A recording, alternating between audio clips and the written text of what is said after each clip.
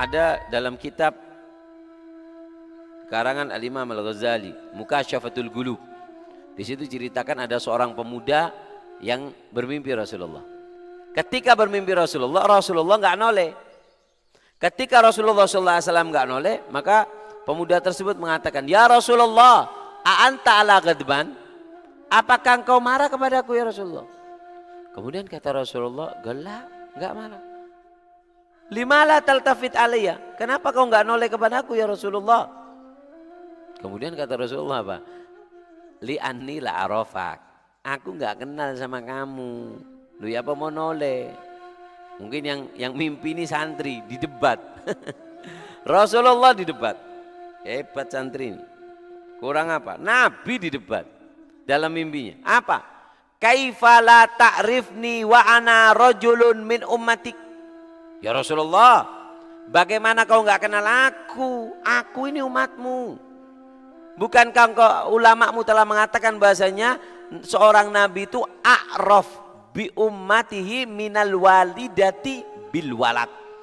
Bukankah umat apa ulama umatmu mengatakan seorang nabi itu lebih mengenal kepada umatnya daripada seorang ibu mengenal kepada anaknya. Seorang ibu-ibu itu ya dikasih keistimewaan oleh Allah, bisa mengenal, punya mata batin yang hubungan kuat ha, kepada anaknya. Tapi kata ulama bahwasanya eh, seorang nabi lebih kenal kepada umatnya daripada seorang ibu mengenal kepada anaknya. Bagaimana kau tidak mengenal aku? Kemudian Rasulullah mengatakan, "Li la tadkuruni bisalah." Kau nggak pernah nelpon aku. Kau nggak pernah hubungan sama aku. Kau nggak mau kenalan sama aku, aku ya nggak kenal. Kata Rasulullah di annaka la tadkuruni bisolah. Kau nggak pernah solawat sama aku. Kamu tahu nggak? Mamin ummatin tidak ada salah satu umatku bersolawat kepada aku illa raddallahu alayya ruhi kecuali Allah mengembalikan ruhku kepadaku hatta arudda alaihim salam sehingga aku mengembalikan salam mereka. Kau sholat kepada aku, aku kembalikan. Wa. Hmm? Jadi apa namanya Rasulullah itu menjawab salam kita. Sehingga Solawat ini seperti nilpun. Semakin sering kita nilpun kepada Rasulullah, maka semakin kenal Nabi kepada kita. Hmm? Kemudian seorang pemuda tersebut terkejut bangun. Ketika bangun, dia melazimkan untuk bersalat kepada Rasulullah 300. Karena dikatakan, kala Abu Talib al-Makki.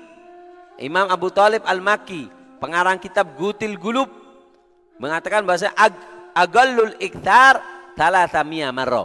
Paling sedikitnya solawat sedikit tapi dihitung banyak itu adalah 300 kemudian pemuda ini membaca 300 300 300 300 sebulan dua bulan tiga bulan empat bulan berapa bulan? Kemudian mimpi lagi Rasulullah. Ketika mimpi Rasulullah kemudian Rasulullah mengatakan bahasanya al-an arafak. Sekarang sekarang ini aku kenal dengan kamu Hah? ini pertanyaan besar buat kita kenalkah Rasulullah kepada kita kalau kita jelas kenal syariatnya sampai kepada kita dan kita wajib kenal. Tapi yang menjadi pertanyaan adalah kenalkah Rasulullah kepada kita? Jawabannya cuma satu. Berapa banyak kamu bersolawat kepada Rasulullah?